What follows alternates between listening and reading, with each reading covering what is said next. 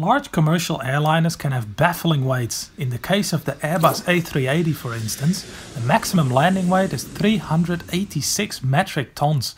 That is equivalent to over 400 small cars.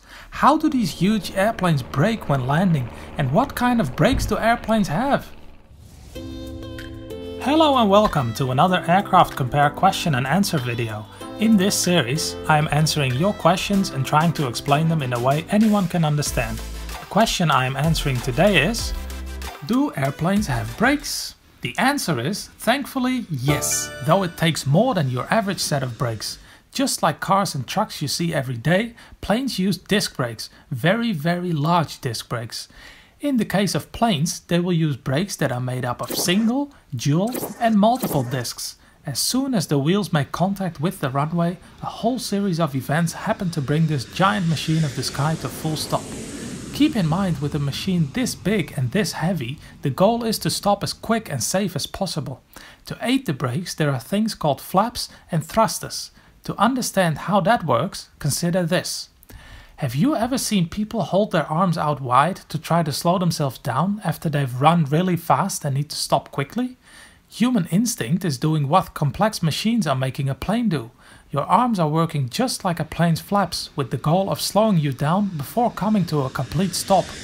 These flaps on airplanes are activated by the pilot or the aircraft itself right after the wheels touch the runway.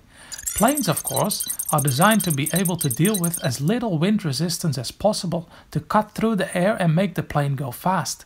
These flaps, or spoilers, try to undo that in a way. They help to essentially slow the plane down and ease toward the ground.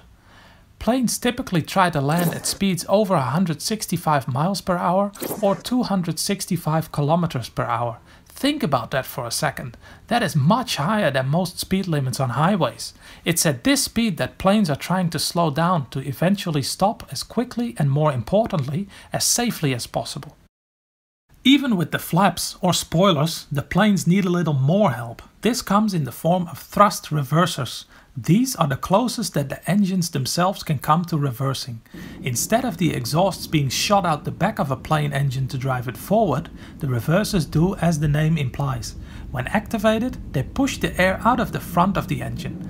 Both of these systems help take the stress off the disc brakes to assist in safe stopping. So all of that sounds very impressive, right? Well, it has to be, but it wasn't always that way. As planes evolved, the need for more safety measures came in. At the infancy of flight, the main goal was to get machines in the air. Stopping safely was an afterthought. So early planes had no brakes. Instead, they relied on the overall slower speed of the machine itself, rolling resistance of unpaved runways, and the friction of the tail skidding on the runway. It was after World War I that brakes were designed for aircraft. This brings us back to the evolution of aircraft. Planes got bigger, faster, and much, much heavier. The bigger an object is, the more power and force it takes to get it up to very high speeds. Then, once it is at very high speeds, there needs to be a great deal of force and power to move in the opposite direction to bring it to a full stop. But doing that isn't enough. The object needs to come to a full stop without any harm coming to those inside. If a plane stops too quickly, you may end up reaching for an air sick bag. Nobody wants that, of course. These systems attempt to take into account the amount of friction, lift and drag needed to do this.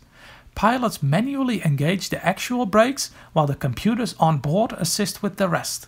The tires, brakes, flaps and spoilers all work in unison to give you, the pilots and cargo the smoothest and safest ride possible.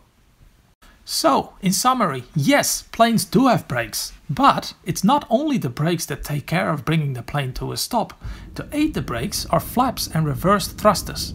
Most of these systems are engaged by the pilot immediately after touchdown. The braking process has been optimized to provide the smoothest ride possible for the plane's passengers. This video is based on a full-length article on my website aircraftcompare.com. There's a link in the description below if you'd like to check it out. And if you like this video as much as I like making it, give it a like and share it with a friend. Also, subscribe to our channel for more videos like this.